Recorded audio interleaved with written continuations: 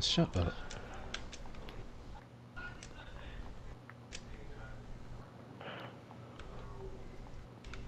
Are you so happy, Ted, that I found the exit instead of your dumbass idea of digging up?